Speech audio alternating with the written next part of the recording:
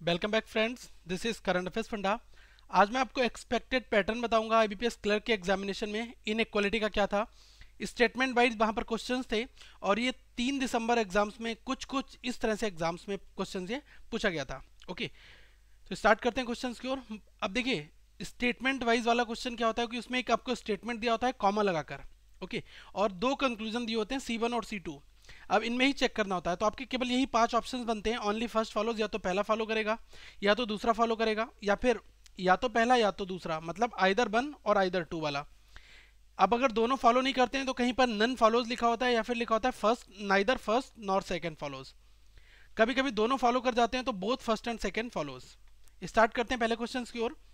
तो अगर ये क्वेश्चन दिया है ए इक्वल टू सी ये statement wise kind of question होते हैं। तो सबसे पहले आपको कंक्लूजन चेक करना है इज़ ग्रेटर देन एफ़ ठीक है? तो देखो ए से अगर आप एफ़ तक ट्रेवल करेंगे तो आपको इक्वल मिलेगा, फिर लेस देन और इक्वल टू मिलेगा, और लेस देन मिल जाएगा। तो अल्टीमेटली आप किस डायरेक्शन में जा रहे हैं? फॉरवर्ड जा रहे हैं।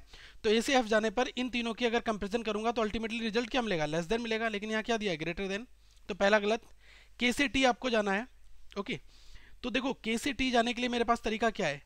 कि पहले मैं के से सी तक आऊँ। तो के से सी तक आप गए तो आपको ग्रेटर का सिंबल मिल गया। अब आप सी से टी तक जा रहे हो तो आपको यहाँ पर देखो अपोजिट सिंबल मिल रहा है तो ये भी आपका गलत हो गया। तो दोनों आपके फॉलो नहीं कर रहे हैं। तो यहाँ पर क्या करोगे? नन फॉलोज या फिर neither first not second okay ये अप्रोच हम लगाते हैं। सेकेंड क्वेश्चन कुछ सही मिलता जुलता है। इसमें कहा गया है R is less than B ये आपको चेक करना है। अब देखो आर से यू एक रिलेशन दिया है, लेकिन यू से लेकर आर यहाँ पर कहीं यूज़ नहीं हुआ है तो पहले वाले रिलेशन को हम यूज़ नहीं करेंगे। सेकंड में देखो आर से यू अगर मुझे जाना है तो पहले मैं क्या करूँगा? यहाँ पर क्या लिखा है? बी एम आर ठीक है? आर से लेकर आपको बी तक जाना है ओके तो आप यहाँ से आर से बी जा सकते हैं। तो जैसे आप आर से बी जाएँगे ग्रेटर का क्या आ जाएगा? आपका लेस देन हो जाएगा इक्वल आपका एज इट इज़ रहेगा। इन दोनों में कंपेयर करोगे सिंबल क्या मिलेगा? लेस देन का। तो यही आपको दिया है तो ये तो फॉलो कर जाएगा। सेकेंड कह रहा है M equals to W okay M जो है वो डब्ल्यू के बराबर है। तो अगर मैं बात करूँ, यहाँ पर क्या लिखा है? डब्ल्यू और बी तो एम बी के बराबर है, ठीक है? तो यहाँ पर हमारा B से W तक हम जा सकते हैं तो B से W जाएँगे तो ये बैकवर्ड जा रहे हैं तो यहाँ पर सिंबल क्या हो जाएगा? इसका अपोजिट मतलब लेस देन तो लेस देन इक्वल्स टू ये सिंबल मिलेगा लेकिन यहाँ इक्वल दिया तो इंडिविजुअली ये अपने आप में गलत हो जाएगा। तो यहाँ पर क्या आंसर होगा? Only first follow third question अगर मैं देखता हूँ, इसमें कहा गया है, एक स्टेटमेंट दिया, फिर कंक्लूजन है।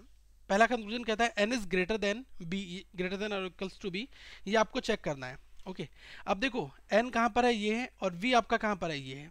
तो आप एन से बी तक जाओगे तो आपको इक्वल मिला, फिर ग्रेटर मिल गया, फिर ग्रेटर इक्वल तो इन तीनों सिंबल्स में जब आपको ग्रेटर और ग्रेटर इक्वल और इक्वल मिल रहा है तो हाईएस्ट प्रेसिडेंस तो ग्रेटर की होती है।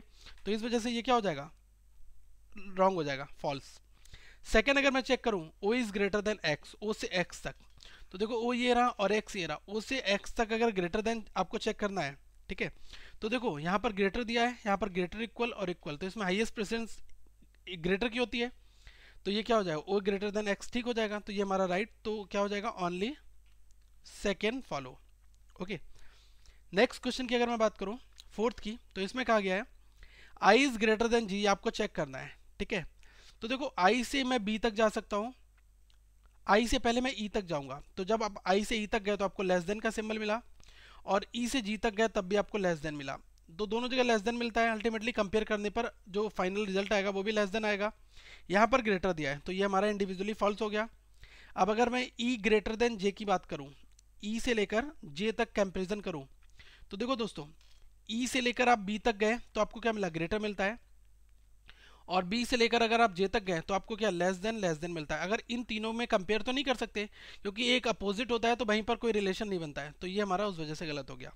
तो दोनों आपके सब्जेक्ट प्रेडिकेट भी अलग अलग हैं तो क्या बनेगा? नन फॉलोज या फिर आइदर फ़र्स्ट नाइदर फ़र्स्ट ये नाइदर नॉर की कंडीशन बन जाएगी। नाइदर फ़र्स्ट नॉर सेकेंड ठीक है? जब आपके सब्जेक्ट और प्रेडिकेट सेम नहीं होंगे तो वहाँ पर आइदर और नहीं बनेगा तो फिर क्या बनेगा? नन फॉलोज या फिर नाइदर नॉर लास्ट क्वेश्चन की यहाँ पर बात करूँ? तो Q इज़ ग्रेटर देन और equals to Z is greater than I ये स्टेटमेंट दिया है, और Q से N तक आपको चेक करना है। तो डायरेक्ट Q से आप N तक चेक कर लो। तो Q से आप N तक गए तो आपको क्या मिला पहले सिंबल ग्रेटर इक्वल फिर मिलता है ग्रेटर का सिंबल फिर मिलता है ग्रेटर इक्वल का।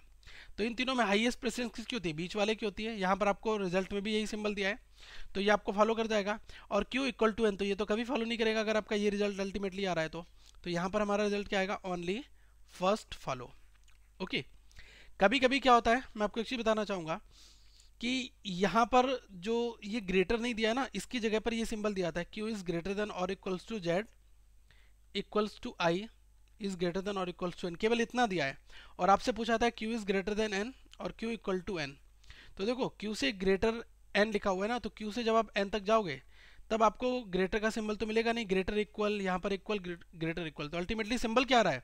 ग्रेटर इक्वल का आ रहा है तो पहला आपका इंडिविजुअली फॉल्स हो जाता है, दूसरा भी फॉल्स हो जाता है।